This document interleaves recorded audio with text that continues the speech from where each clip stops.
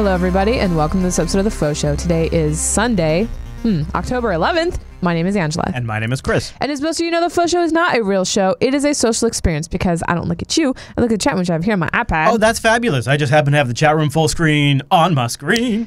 And it's over there on a monitor where we can see ourselves, but. Best lower third on the internet is baked into our video stream. The community is right there over at jblive.tv. Lower third's a technical term, so don't get all picky about it, okay? And we have the chat room right there, and that way they can interact with the, with us as we go. And this is a very inspired edition of the faux. It It is. I I mean, uh, see, a lot of you don't know this, but uh, the entire point of the of the road trip I just went on was really just so we could do this episode.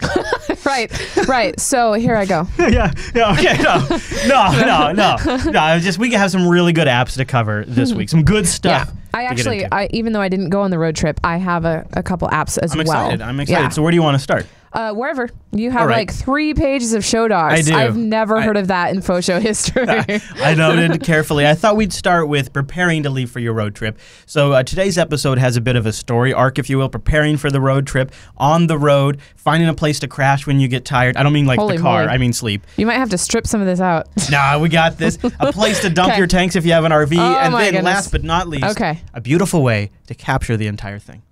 Jeez. How about that? Jeez, you make shows. All right, For a we- living. I just fell out. I just fell into it. So the first one, well, and and then I'll interject that I have some practical apps. I like a, that. A practical app, and uh, that you can use even if you're not going on a road trip. That's true. And then Well- one that's up and coming that's going to be amazing. I'm going to make a disclaimer. Some of these are a little more specific for people that have trailers or RVs, Mm-hmm. but it's going to work most of them for everybody. Almost all of them too. I made sure to find the Android version and the iPhone oh, version. look at So you. try to make sure we've not all one of them of mine have is one of mine is I, is iPhone only. I think like one or two of mine are as well. Mm-hmm. But usually there's an Android equivalent you can kind of find. In all cases, I tried to make sure that if there's Sure. the same exact app, I linked it in the show notes. yeah, what he's saying is show notes, stupidbroadcast.com. Scroll down past show, but past the video. That's where that is. All right, so let's start with you don't actually have to have an RV to use this first one, but it's called RV Checklist. Whoa. And uh, yeah, RV Checklist is uh, it's basically a app that's pre-populated with most common things you need to go through before you go on a road trip when you arrive at a place. And this would work for camping or anything like that. And what's nice about this is it gave me a pre-built list of things that maybe I should consider before I hit the road. You know, things that maybe I hadn't thought of ahead of time because Like because you've never owned a trailer. and I've never gone on a long road trip like this before. So Mm-hmm. this was a really great way for me to sort of cross my eyes. Wait, cross my T's and dot my I's. Is that what you say, Andrew? Yeah. Yeah. And so that's. but you should cross your eyes while you do it. yeah. Well, I kind of I kind of did, and I think I got a headache. Uh, and so this is also like one of the nice things is is chronologically I could store different information as we went through the road trip. So as we got to that section of the road trip, I had I had like the map and the, the phone number and all that kind of stuff Mm. available. So that's RV checklist, and uh, it is ninety nine cents, but uh, I thought it was worth it. Now, what do you have here, Andrews? What's this one? Uh, so cornbreadapp.com is it was covered in episode 43 of Women's Tech Radio and it's a really cool Oh. uh, app where uh, the best example that was given in the show in, in the interview was if you go to a skate park and you do like this awesome t- whatever insert term of cool thing that you can do on a skateboard Oh, okay, like You a know, like- move. yeah, like a yeah. okay. you take video of it or your friend does and you kind of want to share it you know if you go home you upload it to your youtube Yeah. you're one of these bottom feeders that don't Right. get any kind of traffic you But know people that are specifically going to that park might be interested in what you could do there. exactly so somebody that comes an hour later they might be like oh i wonder what you know i wonder if anybody's pulled this yeah. stunt off or, Yeah. or what did they do with the stuff here well so it's like this, geolocation based messages. yeah this app allows you to leave a message a photo or a video geographically located and it's called a crumb because of the cornbread Okay. uh, name. And uh, so yeah, so people can go there and Hmm. just look, and there's little flags, you know, just like you would if you were tracking something. There's a little flag saying, "Oh, there's a crumb over here. There's a crumb over here." Yeah, yeah. And um, they can be left for specific people or for just anybody in general. And it's just it's such a neat idea. It's going to really cool. take like so the city of Marysville, if or if they want to promote their parks, they could be like, "Hey, leave your best pictures from this park." Yeah. make their publications, their advertisements. Like there's a whole whole huge thing, but it's also very romantic. I could also, I oh, I could see that. You could see leaving like a love notes for somebody. I could also see uh, like leaving little micro reviews. So you know, you go to a state park, Yeah, and or like a this- restaurant. Yeah, yeah, that too, right? right? Yeah. So there's a so it's called cornbread or what's it called? Yeah, cornbreadapp.com. It's called Cornbread. It's named after a uh, one of the very first taggers, you know, like with spray paint taggers. Oh, As uh, the guy went by Cornbread, he tagged an elephant. He went to a zoo and he tagged an elephant. wow. Yeah. So And you guys talked to the developer on Women's the Tech Radio creator, 43. yeah, yeah. This was created in a lab from Neologic, and uh, it's just really cool. So yeah, check out that Women's Tech Radio. There's there's some really cool things, and they have a second app called Poetry for Robots that that is very very cool as well. Nice. All right. So, one of the problems I discovered on the road trip, and you might run into this too if you're going pretty much anywhere outside some of the main corridors, is you very, very quickly lose signal. Well, guess what becomes totally useless when you don't have signal? Google Maps, Apple Maps, a whole lot of nothing. So, that's why I. Everything that you're using to get to your destination. Is that what you're saying? Yeah, so that's why I dug up Copilot. Uh, you can find it at copilotgps.com, available for uh, Android, iOS, Windows Mobile as well. Um, and it is, last but not least, it is an offline GPS system. So it downloads all of the maps and Oh, pre-caches them for you. genius. Yeah. How much is it though? The well, that's the tricky thing. Is the base app itself might even be free. Oh, it's an app. Oh, okay. Yeah, right. uh, I was thinking it was a thing. No, no, it's an app. Uh, The base app itself is free. Duh, this is an app show. Okay. Yeah, but you want so there's things you can pay for that are really nice to have upgrades.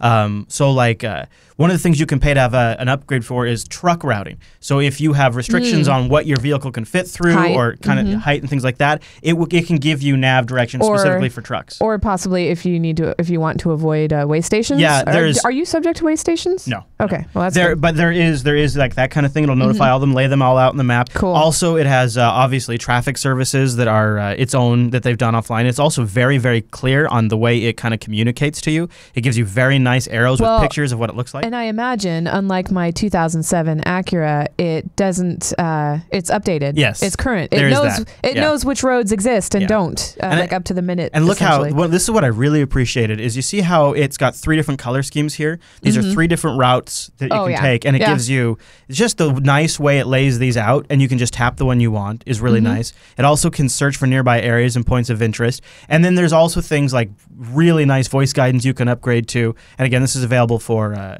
Android and uh, iOS. On iOS, it is 64-bit, so it runs really nice and fast too.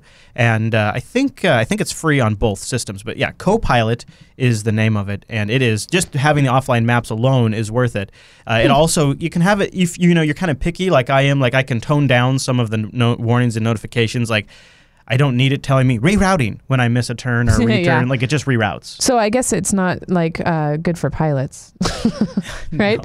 Wouldn't be geared towards pilots at all. No, but this is kind of cool. One of the one of the add-ons you can get is like uh, a Middle East package, Brazil, Australia. Oh. So it can get you can get. It's not just a U.S. you thing. pay extra for Yeah, it is. coverage? Hmm. Well, well, you don't. Well, think about it in this way: if you're downloading these maps, you don't really need the storage. So the maps themselves are 24 bucks. But if you bought a regular printed map, it would be more than that. These are Yeah. you own these offline maps once you buy them, and they get updates and all that kind of stuff. Okay. And it comes with all the voice stuff for that particular routing, and so Right, it's right. it's nice. It's Okay. Copilot, and you can just kind of upgrade it as you need it.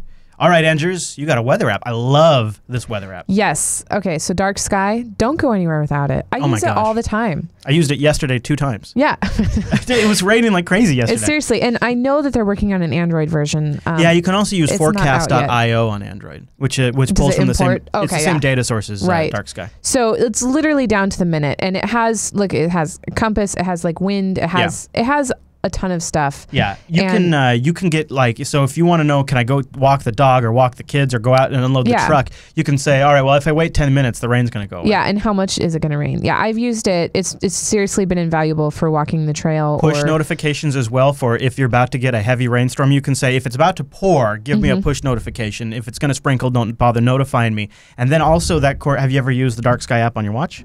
No. Yep, there's dark sky for the watch too. I'll be right back. I'm gonna go grab the sandwich. You keep talking about dark sky. Um, well, so it has the forecast for the week, and it's just as accurate as the weatherman. You know, so it's it's not, but it is. It does seem to be a little closer, and uh, I have used it to plan my weekends and stuff. But most specifically, I'm using this in this uh, in the fall season to make sure that you know, can I go to a pumpkin patch or is it going to rain?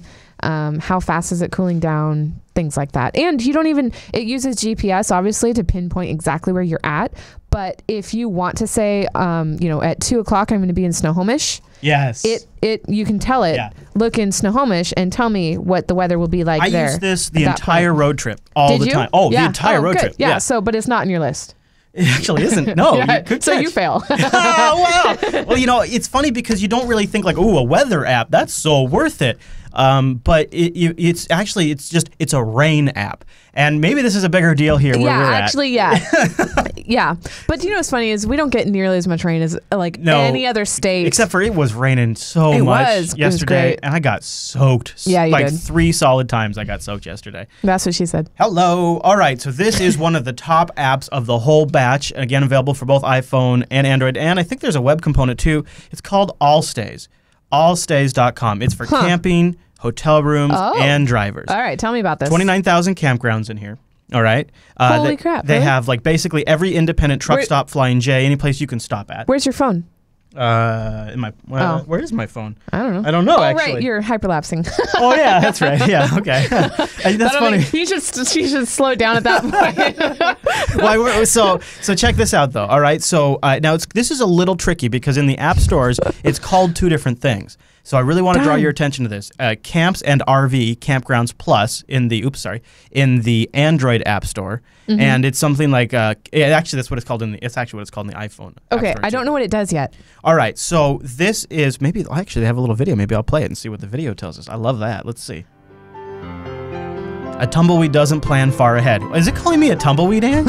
a tumbleweed stays flexible. Yeah, it is. Wow, heavy books, outdated info, slow research. Sounds these like are, our libraries. This is not things I want. Buy again and again. I don't want these things. Most websites and apps need the web for data and ads, yeah. Wow, I like how they parentheses. leaving many campers in the dark. Oh, I'm sold. A. Now, allstays.com changes the way you travel, oh, I like the little camp, fire. and RV. There you go. So, uh, wander your way, and I I guess this also has an offline component, which I wasn't even going to really talk about. yeah. Um, So it is here. I'll show you the UI, and you can probably guess it. So you see these different icons here. yeah. The t- these are tent sites.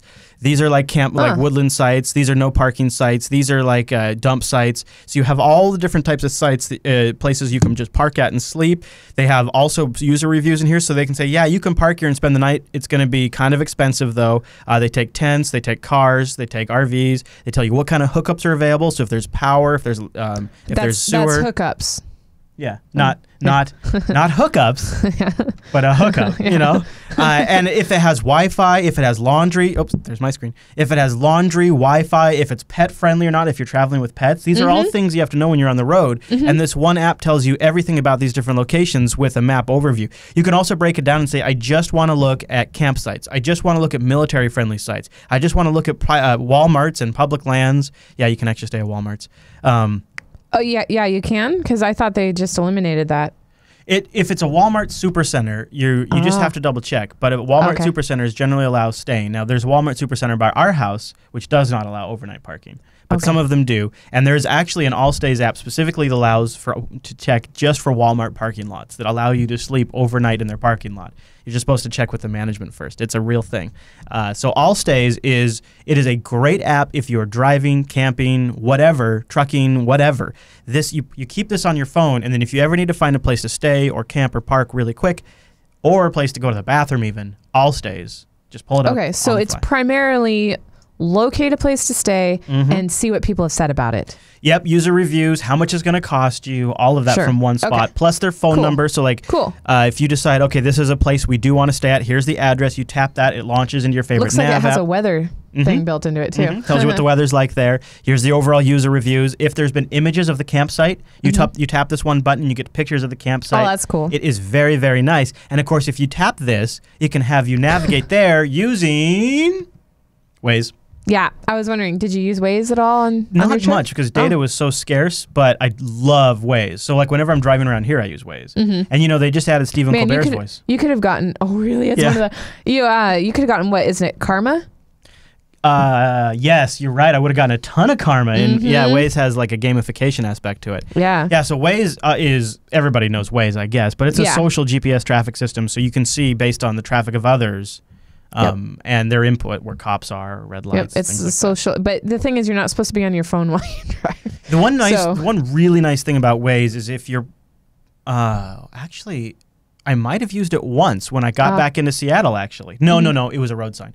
Uh, so we were, we were coming into Seattle on I ninety, and we were about to get off on four hundred five, and there was a big sign that said three hour backup on four hundred five. Oh, Well, if you think about it, when you're pulling 5,000 pounds of trailer, the last thing you really want to be in is a stop and go traffic, stop and go Mhm, traffic, because it's a lot to stop and a lot to get going and a lot to stop. Right. And so we decided to take I 90 over the bridge and onto I 5 and then come up I 5. Mm-hmm. And Waze is a great example. If you are pulling or hauling something, you really want to be out of traffic. And so that helps you stay clear of it in Cool. a, a really nice way. so Google you, Maps you quickly looked up I five traffic and saw it wasn't as backed up as four hundred five. well, we just kind of took a bet. There was a road sign because the traffic was so bad that said I 405, three Yeah. hour wait. you know Um, why? No. Because they changed the carpool lanes to toll. Yeah, yeah, I do yeah. know that. And so, and you can only, they're double white lines now, so you can only get in it at like two different places. Yeah, okay. yeah. Yeah. So just, ugh, and you have to pay. Um, the um, the Copilot app that I was showing Mm-hmm. Yeah. has its own traffic service too, Oh, which is nice. cool. But Waze is nice because But it tells you about cops and I red lights. Copilot was supposed to be offline though. If you have online, it'll do. Oh, okay. Yeah. Okay. But the nice thing is, it's not using your data to pull down map data. It's right. just getting the right. traffic. Just stuff. the traffic. Yeah. Yeah. Sweet. And so something to track while you're on the road, while you're moving, is your mileage. Now, there's a ton of apps to do this. This is the one that I played around with, Mileage Keeper. It's a really nice, and one of the things that it has that a lot of the other mileage tracker apps don't have for iOS is it's updated for their newer iOS look. All the other ones look like they're, you know, all uh, what what skeuomorphic. Mm-hmm. Uh, so this one's a nice one. It's really simple. However, this isn't actually what I used in the long run because it's very, very manual. And anything that I generally do manual, I tend to be a spaz about. he doesn't do. Well, I just yeah. so I want to talk about How can I pay someone or something to do this for me? That's automatic. So automatic is exactly that. Uh, automatic, what it does is it plugs into the ODD, ODB2 port oh of yeah. I was car. gonna, you got it out of your truck, right? yeah. Yeah. Uh, and uh, it's basically if your car's made since 1996, you probably support this. And this ODB ODB2 port gives out information like your mileage, your acceleration, your current speed, how hard you're braking, all of these kinds of things that are nice to collect when you're on a very long road trip. And they're kind of small, so they would fit in like Oh, yeah. in my stocking for Christmas, right? Oh yeah, yeah, yeah. they would. I mean, but they're really big, so no, they wouldn't. Yeah. I mean, no. uh, so you put it in there, and then it pairs up over Bluetooth.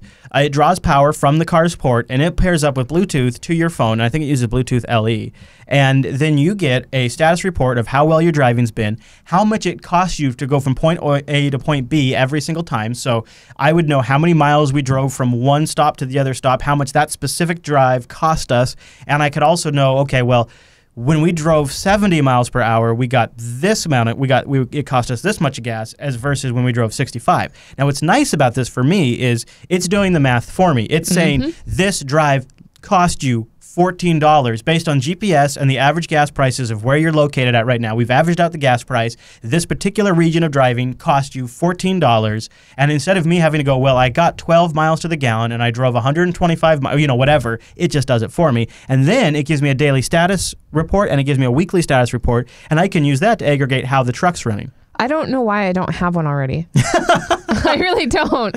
I re- the new one, the new one, Ange, is even cooler. So the, I don't have the new one. So the new one integrates with services that are really cool, like FreshBooks for for billing. Wow. Yeah. Uh, Oh my Expensify. gosh, that's cool. yeah, Expensify does it. Also, if this then that, which is a really cool. Once I arrive somewhere, take these actions kind of stuff. Yeah. Like if the ignition is turned on, automatically do this on my phone. Yeah, I was sold a long time ago. Yeah. So, it's called. You go to automatic.com and uh, you can get it. It's, ninety nine Okay. bucks. Although the the uh, nicer model is more. no, I don't think so. The I think of it, it might be just slash ATP. The Accidental Tech Podcast has a promo code. Oh, yeah, sweet. If you go to slash ATP, I think you get Yeah, uh, twenty yeah. dollars off. So it's seventy nine ninety six, and that's they're a nice podcast. So support them, and then if they ever become a sponsor with us, then use our promo code. And you know what's funny is we once got their stickers. yeah, that's what actually made me think of it. Is so what Ange was talking about is we were doing a batch of swag. and uh, we got the Accidental Tech Podcast swag, and so I've And- kind of yeah. followed them since then because it was kind of like, oh, look at that, that's kind of weird. We Mm-hmm. were ordering stickers, and they were passing in like ships in the night, and so I when I checked them out, I noticed they had a discount, and that's when I ordered mine. So it's Ah. been like since then. How long Yeah. ago was that? Like, A couple years, at least two and a wow, half. no, really? Yeah. Wow, was it Yeah, been I that think long? so. Yeah. Jeez Louise. So I've well, had I mean, think about oh, a year maybe. No, well, no. Think about it, like because uh, JB. Remember. JB asked for permission to remove it, so it was that long ago when we brought your truck to to his place. All right, okay. Yeah. So there you go. It's automatic at automatic.com. All right. Sweet. So I got kind of a couple of quick ones. I just thought maybe I'd bust through really fast. 'Kay. There's a couple of different ones to solve this particular issue. I liked this particular app because it was so simple. Field Tester. So once you arrive somewhere, it's a big, big, big issue to make sure you actually have decent connectivity. A lot of hotels, a lot of camping sites, a lot of rest stops offer free Wi-Fi.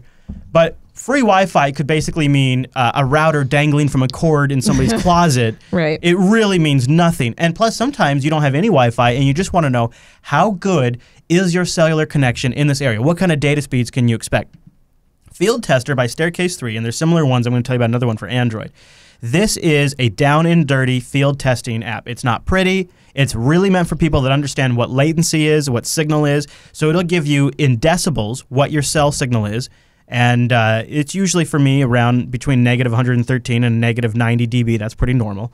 And then in the other column, you get what your exact latency is on that network, whether it's Wi Fi or your cellular data network. Uh, you can run specific field test performance results without having to go to like a speed test app separately. You get the SSID and you get the longitude and latitude of your current Wi-Fi access point or the cellular antennas you're using. And you can turn on continuous testing so you can move around and determine if where you're repositioning the phone actually improves your signal or not. So this is a really, really nice app when you're trying to get good connectivity, like say to a podcast. Mm-hmm. And you can also have it do background information collecting. Uh, you can have it uh, do ping tests, and you can specify where it pings. I by default it pings Google DNS, I believe, or something like that. Uh, so that is Field Tester, available for iOS, and this next app is available for Android and iOS, and it's called Open Signal. And this is by the Open Signal project. They're trying to do their own mapping of where cell coverage is good. Screw what the cellular cellular companies say. This is user generated. 10 million users are generating a coverage map using OpenSignal. And one of the really nice things about OpenSignal is it has a really simple like compass like GUI. You see that little triangle right Yeah, there? mhm. That that Walk that way for Yes, signal. it yeah. orbits around, and it's this is Cool. the go this direction to get closer to your tower. Um, and then, of course, one screen over, it has built-in speed testing, and it gives you your right here in one section. It gives you what your current mil, uh, d- data milliseconds is, so you know what kind of latency you're going to get. And then one tab over, it gives you all of the free Wi-Fi locations near you. So if you want to go jump on somewhere that has free Wi-Fi, and then of course it has a test, which is a really nice test app. And what I like about that is it gives you, if you're just, if you're not super savvy, it says, well, if you want to use web browsing, the connection is going to be like a five star, six star connection for this. If you plan to do VoIP though, it's going to be a three star connection. Don't expect it to be very good.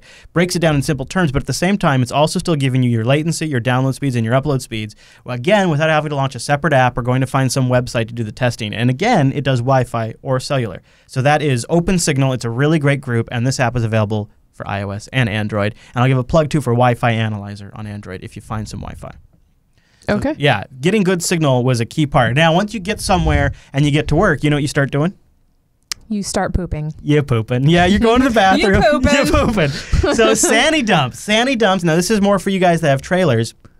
This is an app or just or like RVs or well, yeah. Uh, and what it does is it shows you all of the places you can go dump your poo and your pee Your poo. and your gray tanks, which you actually have to dump your gray tank more than you'd probably have to dump your dump your black tank. Uh, Mm-hmm. And uh, this finds them near you, which is really nice because here's the way this goes.